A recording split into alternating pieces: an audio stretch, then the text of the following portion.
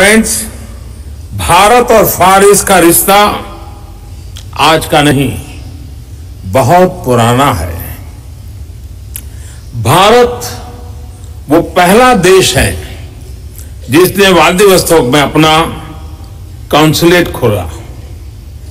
तब भी और उससे भी पहले भारत और रूस के बीच बहुत ही भरोसा था।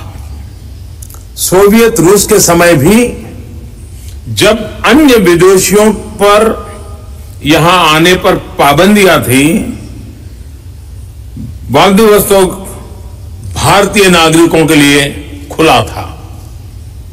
रक्षा और विकास के बहुत सा साजो सामान व्लादिवोस्तोक के ज़रिए भारत पहुँचता था। और आज इस भागीदारी का पेड़ अपनी जड़ें गहरी कर रहा है। दोनों देशों के लोगों के लिए सुख, समृद्धि का सहारा बन रहा है। भारत ने यहाँ एनर्जी सेक्टर